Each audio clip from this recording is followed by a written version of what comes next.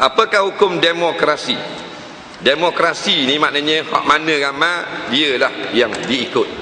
Demokrasi ni harus dalam Islam dan haram dalam Islam. Hak mana yang haram yang Allah dan Rasul telah tetap. Tak ada demokrasi. Demokrasi ni hak mana akak tangan ramai dia betul. Hak mana yang akak tangan sikit sokongan sikit dia tidak ada suara. Ha?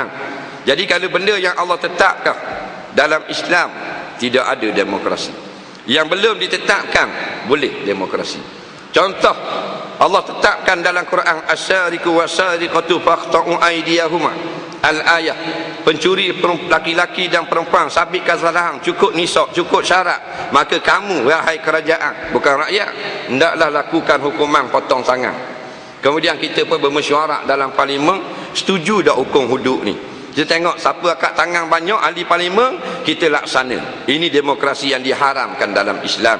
Kerana ini telah ditetapkan dalam Quran. Tidak ada pilihan. Faham? Kerana ini kita duduk bumi hak Allah. Bila bumi hak Allah tumpang rumah Allah. Bila tumpang rumah orang tak boleh buat ikut pandai-pandai. Ikut peraturan tuan rumah. Kita pergi rumah orang orang mari rumah kita kita naik dengan kasut-kasut. Tuan dia kata eh kasut letak luar ah. Nampak kita kata eh kasut saya ikut pandai saya bah bukan lima ringgit enam ratus bah supra. enam ratus ke enam ribu letak luar eh ikut pandai saya kasut saya. Tuan rumah pun ambil batang nyapu jolok lubang hidung dia.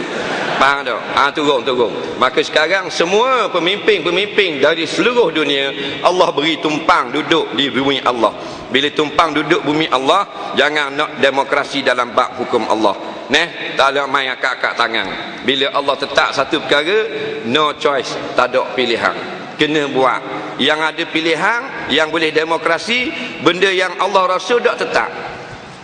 Macam semayang subuh, mestilah setelah terbit fajar. Eh, kita berasa ini ewak sangat terbit fajar. Nak pergi sekolah awal, nak jabat awal. Kita pun bincang orang masjid, ahli Korea. Nak, setuju tak kita semayang subuh pukul 3.30 pagi pula?